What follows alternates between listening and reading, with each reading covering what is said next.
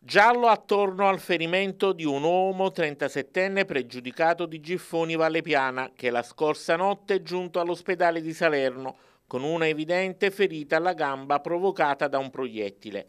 Sull'episodio indagano i carabinieri della compagnia di Battipaglia diretti dal capitano Samuele Bileti che stanno tentando di ricostruire la dinamica dell'episodio.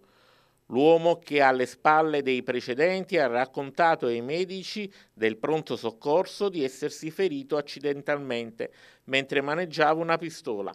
Fortunatamente non è in pericolo di vita. L'episodio è stato comunque segnalato alle forze dell'ordine che ora sono al lavoro per verificare la versione fornita dall'uomo. La dinamica di percorrenza del foro entrato dalla parte alta della gamba renderebbe compatibile la versione fornita dall'uomo con l'accaduto, ma sono in corso ulteriori accertamenti per far luce sulla vicenda.